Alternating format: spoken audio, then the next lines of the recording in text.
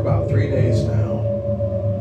The incessant high-pitched creaking of the stressed floorboards from below. The deep, sickly groans from the stairs as they receive abuse. And the demonic whisperings of deranged ideology coming from the damned on the other side of my bedroom door.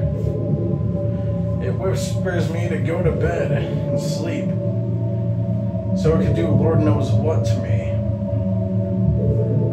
Give in to its request, but I have no idea what to do.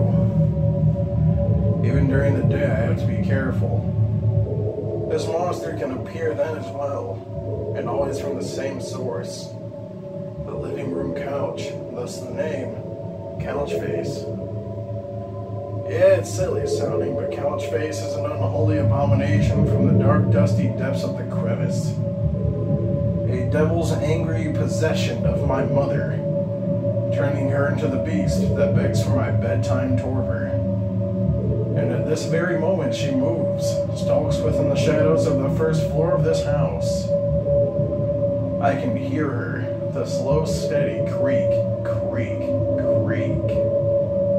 I know she's listening, waiting for me to make a sound, whether that's a snore or a signal that I'm awake. I know she grows impatient. She wants to get me, but I think she needs me to be asleep before she can. But here I sit, writing this on my phone, being as still and silent as possible.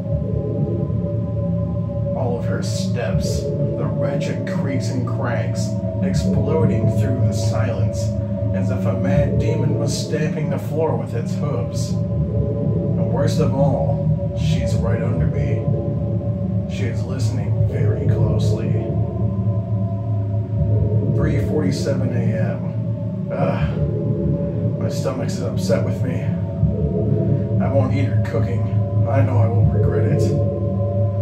I've been eating those frozen burritos as of late. Black beans and rice make my tummy feel nice my butthole burn. But when you eat too many, life starts to be a problem. And in my case, I have to fart. I can't risk it. And so my stomach moans and yearns and my backside twists and turns. It desires to exhale its last breath. I feel my eyelids begging to sleep. Slowly they try to fall. I'm so tired. I think I'm gonna go to a friend's house today. It's almost 4 a.m. right now.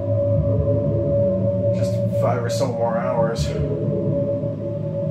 I can make. No, I'm so dead.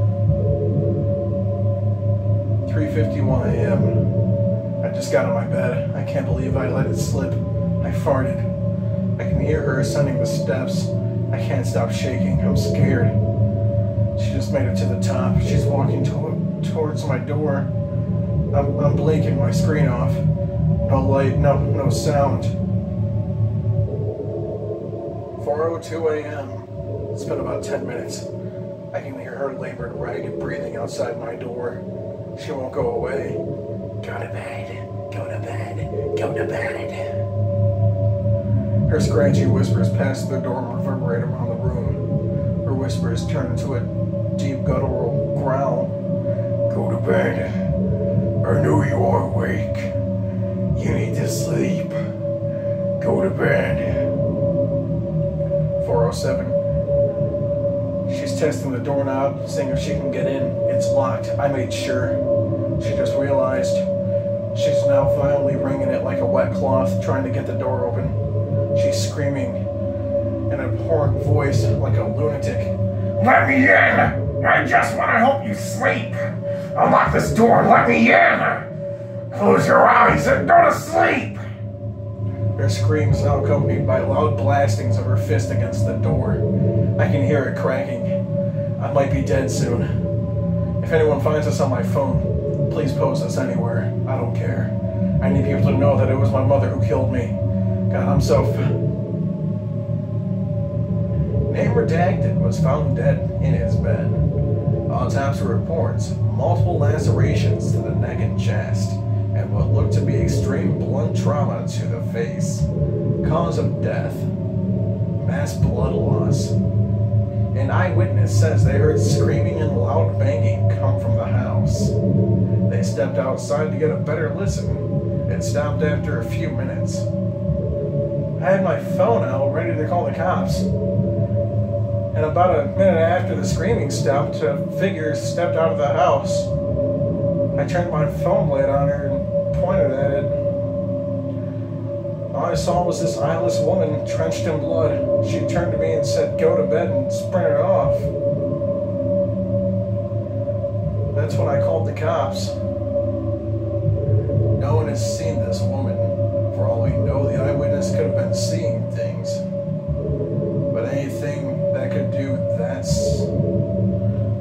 crazy amount of carnage cannot be human.